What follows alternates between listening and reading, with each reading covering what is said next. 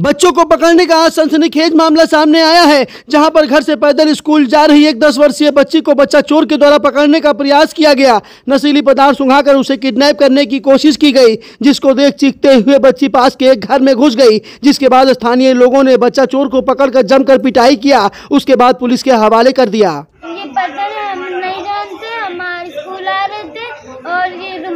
हमें पकड़ रहे थे, रुमाल में दवा डाले, हमें पकड़ रहे थे हम झाड़ू लगा रही थी। उसके घर में भी घुस हम। ये मामला उत्तर प्रदेश के रायबरेली शहर के आचार्य द्विवेदी नगर से सामने निकल कर आया है, जहाँ पर अपने घर से स्कूल जा रही बच्ची को एक बच्चा चोर के द्वारा पहले तो बुलाया गया, उसके बाद जब बच्ची उसके पास पहुँची तो बच्चा चोर के द्वारा जेब से नशीली पदार्थ का शीशी निकाल कर रुमाल पर डालकर उसे सुंघाने का प्रयास किया गया, जिसको देख बच्ची चीखते हुए पास के एक घर में घुस गई, जिसके बाद आसपास के लोग इकट्ठा होकर बच्चा चोर को पकड़कर जमकर पिटाई किए और उसके बाद पुलिस के हवाले कर दिए। तस्वीरों में आप देख पा रहे होंगे, यह व्यक्ति जो रायबरेली ज़िले के बाहर का रहने वाला है ये आज एक बच्ची जो अपने घर से स्कूल जा रही थी, उसका पीछा करके उसको नशीली पदार्थ सुंघाकर अपहरण करने का प्रयास किया है। बच्ची को नशीली पदार्थ सुंघाने का प्रयास किया है। स्कूल जा रहे बच्चे के द्वारा बताया गया कि रास्ते में खड़ा एक युवक उसे अपने पास बुलाया और जेब से एक शीशी निकाल कर रूमाल में शीशी से दवा डालने लगा, जिसे देख बच्ची घबरा गई, जिसके बाद वह चीखते हुए पास के एक घर में भागकर घुस गई।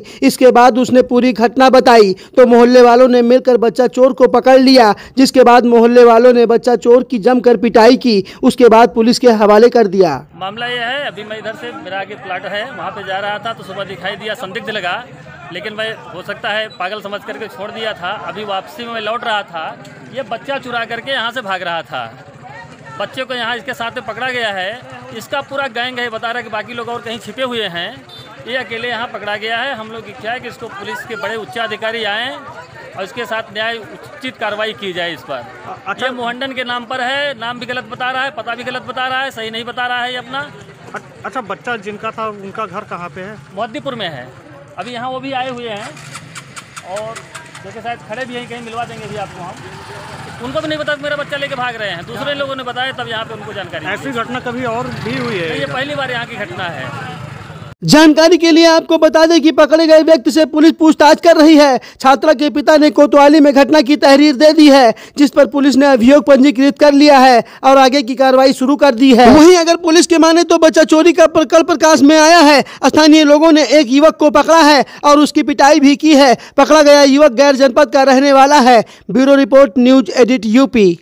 Sir एक बच्चा चोर का मामला प्रकाश में आया है। क्या पूरा मामला क्या कार्रवाई हो रही है? आचार्य द्विवेदी नगर थाना कोतवाली क्षेत्र के लोगों ने आज थाना कोतवाली पर सूचना दी कि उनके द्वारा एक व्यक्ति को पकड़ा गया है, जो वहाँ पर एक नाबालिग लड़की को देकर कुछ ऐसी हरकतें कर रहा था, जिससे नाबालिग लड़की को ये शक हुआ कि शायद वो उसके साथ कुछ उसको चुराएगा या उसके साथ उसको अपहरण करेगा। इस बात की उससे सूचना तुरंत दौड़ के लोगों को दी तो वहाँ के लोगों ने उसको पकड़कर थाने को सौंप उस व्यक्ति का नाम शेखू है, जो रायबरेली से बाहर का रहने वाला है और अभी उससे पूछताछ की जा रही है। परिजनों द्वारा तहरीर दी गई है उसके संबंध में अभियोग पंजीकृत करके आवश्यक कार्रवाई